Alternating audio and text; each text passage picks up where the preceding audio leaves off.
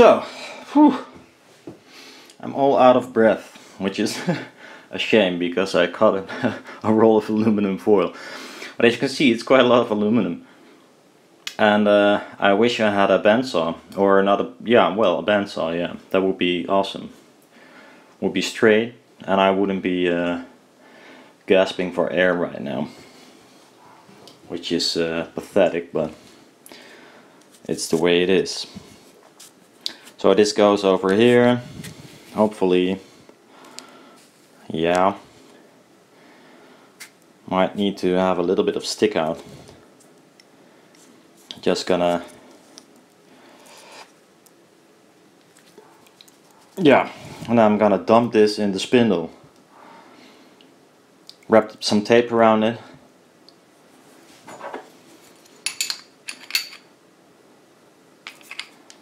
That's not going anywhere, I think. Okay, so uh, let's um, do the programming of the spindle and uh, see if it fits in a collar without wibbly wobbling all over the place because I didn't even check if this piece of uh, metal was straight. I hope it is. It's a Chinese manual, but it works. So I have to, because I use this knob, there are several uh, things you have to change. First of all, the lower frequency that the analog input uh, can handle or produce, and that's in this case it's this knob. Uh, it's uh, PD73. I'll put it on 20 hertz. It's really low, but I'm not intending to uh, do massive stuff with it, so should be okay. And then I think there's, uh, if I run it, Okay, 2400 RPM. That's still higher, I think, than uh, if I use 20 Hertz.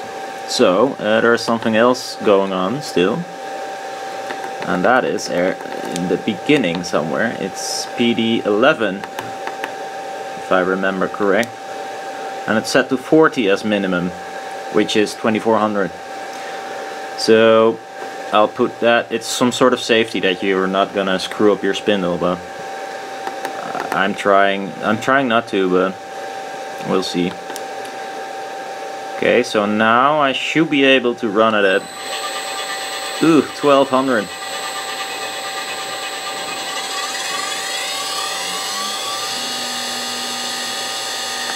Okay, so uh, the manual worked out this time. This is, by the way, a perfectly fine manual for a Chinese uh, product. This is uh, good. Uh, let's put the contraption together and see what it does. Main concern first is how much wibbly wobbly I will get. This should be not here, but it is here.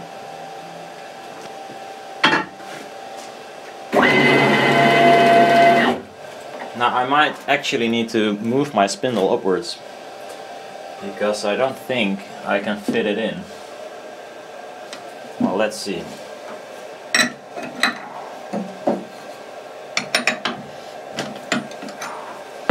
There is no room left here. Um, on the screw there is no room left. So might need to move the whole spindle uh, a little bit upwards.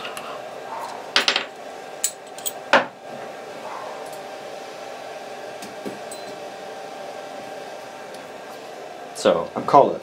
I had a collet that kind of fits, a bit weebly wobbly, but let's see.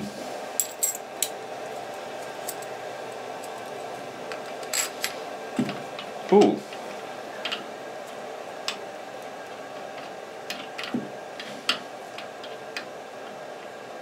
I just put it in there.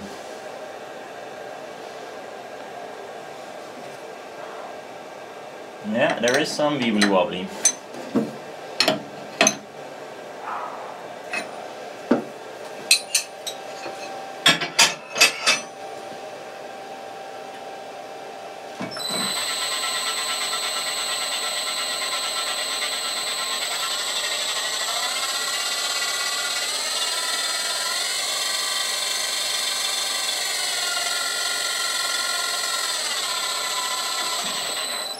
Not that much, by the way. It's looking quite okay.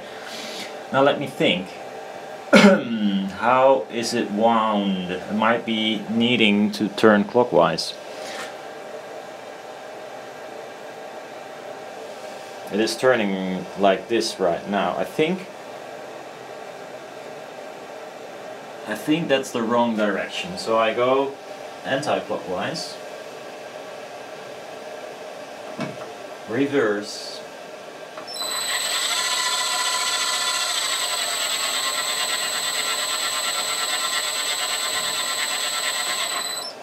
I think it's something like that. Now I need a piece of wood. Jesus, this good MDF is way stronger. You cannot just... Yeah, you can, but it's quite a bit harder. So this is gonna be my tool um, thing. It's gonna hold this uh, incredibly nice tool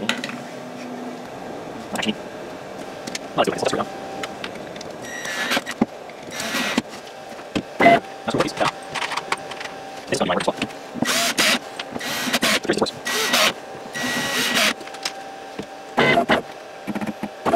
That's a bit of a waste, as you can see. I might um, put my spindle up a little bit, so I got some tools. Is this the right size? Yeah. It's funny, um, it's hard to see. But these spindle holders have uh, three um, bolts. And um, only two you use actually. Um, if you loosen them.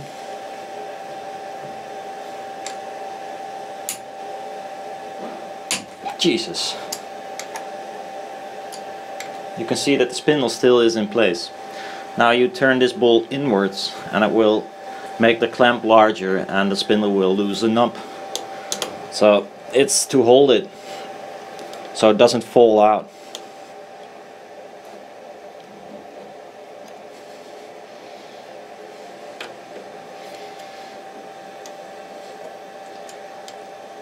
well I'm not cutting with it so um, this is an odd arrangement but good enough for now.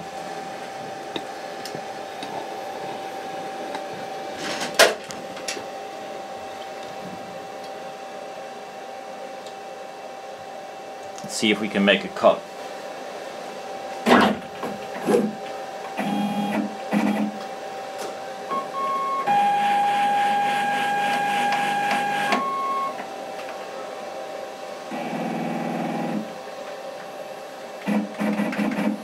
Let's first get the edge straight. I am gonna lower the the speed it moves. It's way too fast still. It's not cutting that fast. Let's go to 1%. Still too fast.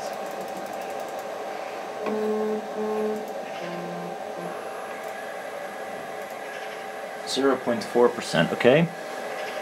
Let's see what it does. I hope I don't uh, end up with uh, a knife in my face. So I am gonna use some glasses just to be sure. You never know. Very low RPM.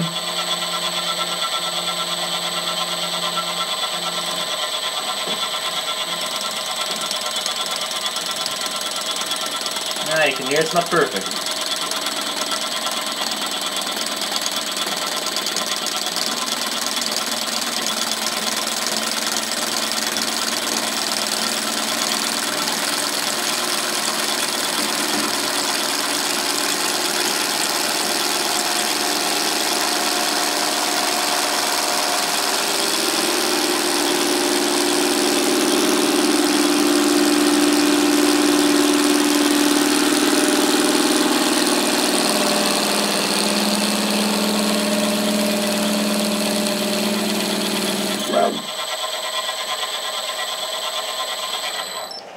think think we were through the material. Oh yeah. So now it's kind of a zeroed. And I think the RPM might even be a little bit tap too fast. And this is wibbly wobbling as well. Might This is quite awkward. Might need to screw over a support or something. It's too uh, sloppy for my taste. I have some wood somewhere. Just a piece of something. I don't know, this. This will do. It's not it's not beautiful, huh? Ow, fuck.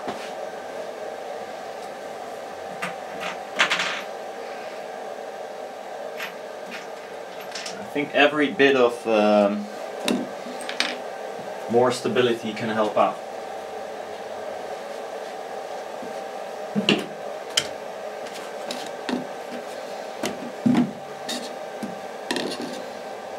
Maybe I can just drill a hole here. That would be better, I guess.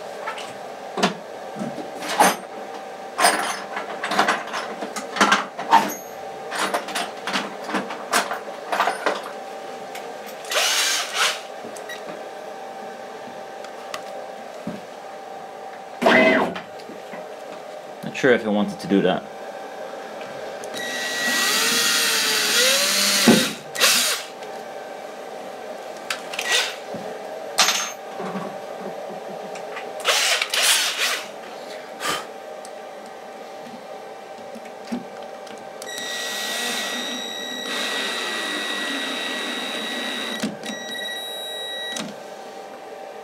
Ooh, that's way better. Now this wibbly wobbly uh, in the blade nice if it's gone as well.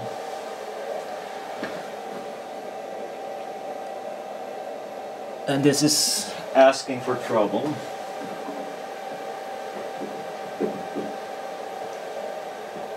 Of course I don't have the right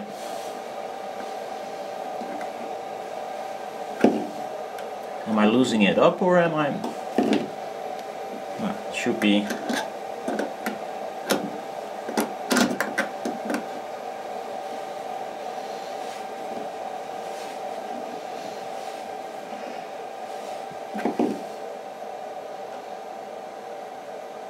Okay, let's try again.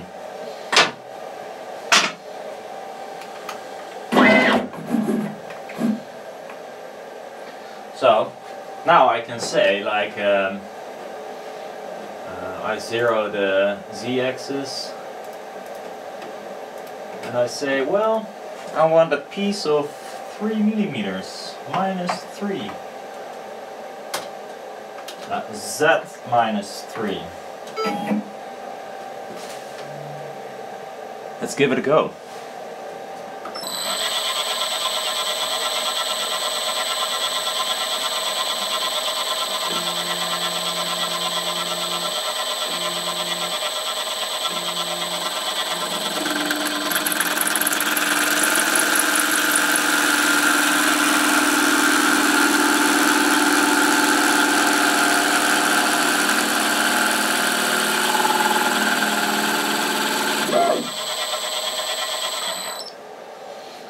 starts to make a different sound when it's completely through. Not sure if I was this time. Might not. Might not. Fuck. Also the blade is on an angle which is I don't think this this holder is gonna hold it very long.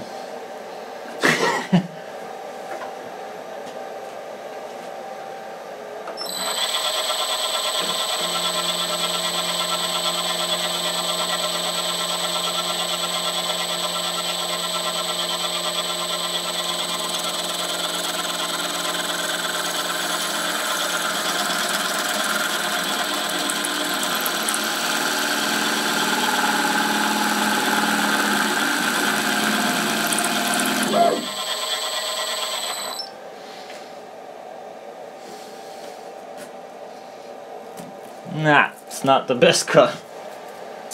Well, that's a fail. Yeah. No. That's not it. Not perfect. There are a few things that I think are going wrong and it's the blade is on an angle and it's hard to see.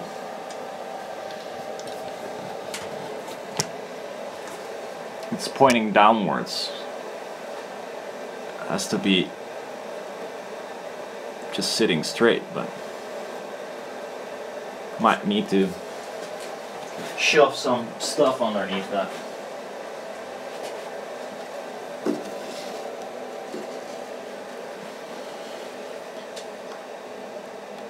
It's kind of shabby, of course. I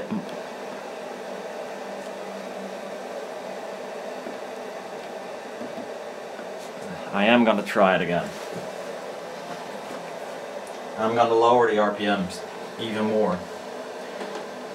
So that's 11 set, uh, 20 hertz.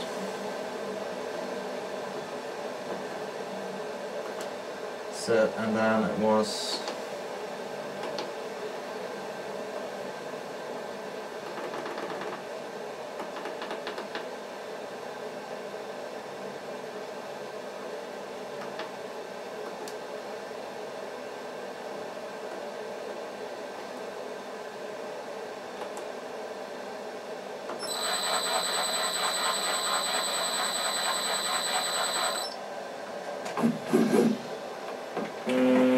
Also, I'm not sure where I should enter the material. If this should be a little bit straight on, or in front, or behind. I, don't, not, I have no clue. Let's try a different angle.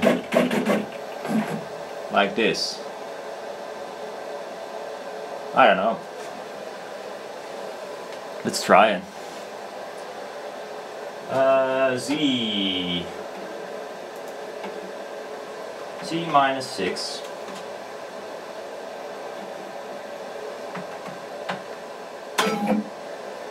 Try it again.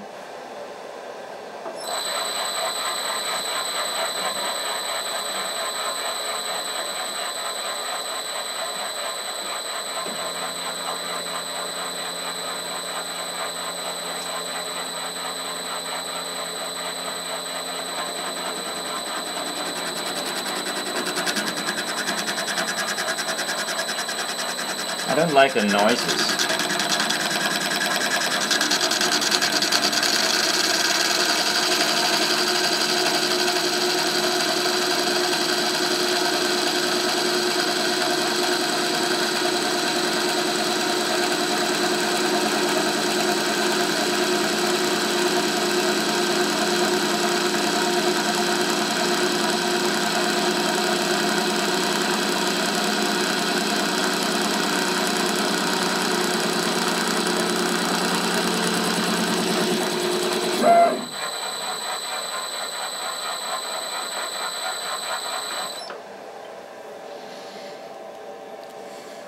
It has a hard time um, I think the blade is just too small to cut it all the way through. Although this looks way better. This looks let me see if I can unwound it. Oh you see what I see.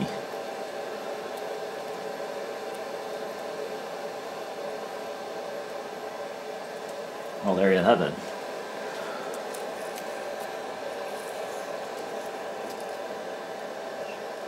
three millimeter wide foil.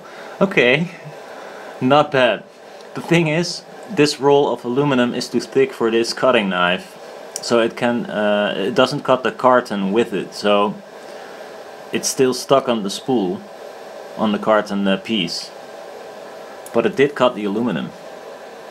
Fuck yeah! Back inside. So this is what we got. I'm gonna see if I can wiggle it loose and see if we got a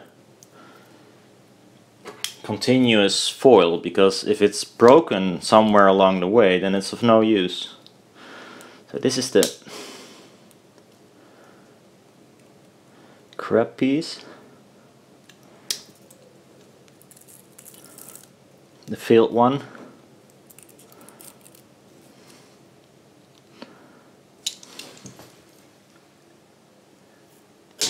Ah, it's also, it's not supported here, so it should be uh, better uh, along the edge where the whole roll is supported. And it almost went through. You can see it inside. The cutter is not uh, thick enough to uh, to completely cut the whole roll. It only cut the aluminum. See if we can get it off without fucking it. I think that's rather that's hard. Okay, so that's not gonna work. Well, let's unroll it.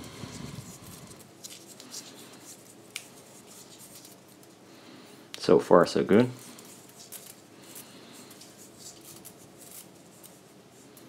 I'm not disappointed at all. Let's see how wide it is.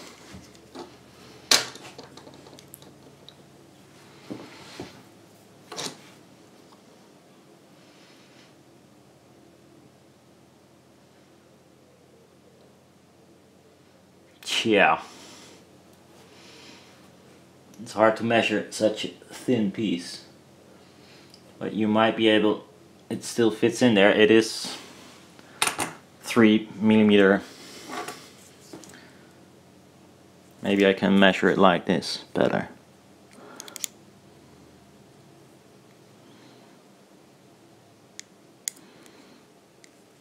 Two ninety six.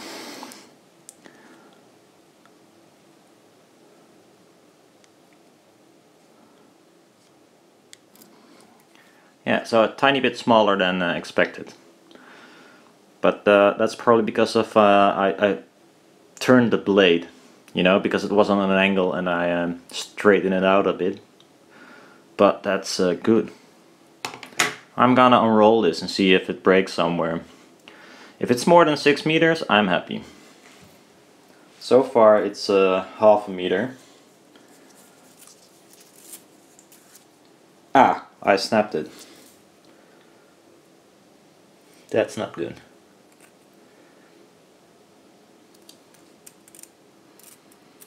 I'm not sure if I did it or it is fragile, that's for sure.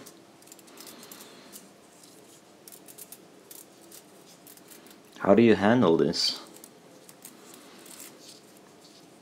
This is a potentially spot where it breaks. Yeah.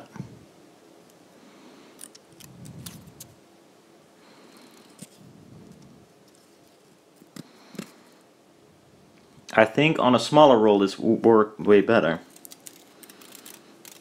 Less potential failures. It, it sticks on one particular there.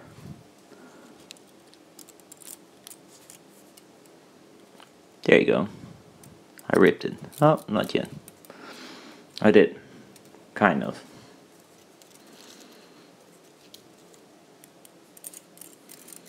Okay, so this could work. It's not perfect yet. Definitely not. And maybe 2.6 millimeters is a bit too. Um, it's not. It's not much. Let's see what the resistance is. I'm quite curious.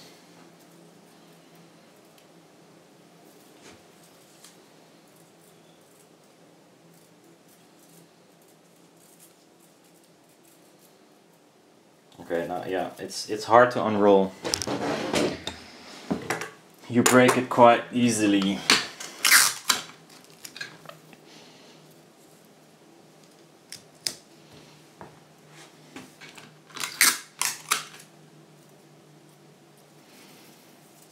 This must be a pain to wind uh, on the on the panel. I can imagine. Those poor people at Magnepan. That's no fun.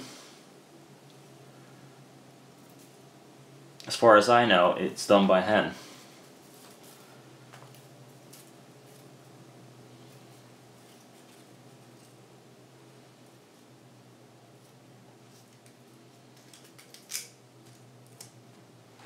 So we got a piece here. Let's see what the resistance is and what the the actual size is. between the tips.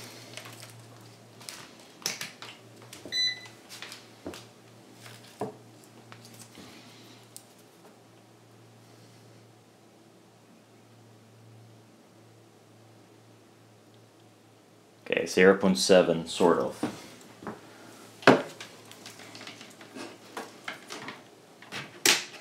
Zero point seven, gonna measure it, and then we know the ohms per meter. Okay, so uh, we're 100 divided by 0.88, that was the length. Um, so 1.13 actually, we have to 0.7 times 1.13. So that's around 0.8 ohms a meter. I got 6 meters or something in my tweeter, so... So yeah, slightly more even. So I can make the foil a little bit wider because 4.7 ohm is, uh, well, at least 0.7 ohm too much. So it has to be 3 or even bigger, but this is too thin. That's good because this is also a pain in the ass to cut, I think. Uh, and to unwind and everything, it's fragile. Okay, so far so good. I'm gonna get another piece of aluminum that has, it's not as big of a roll.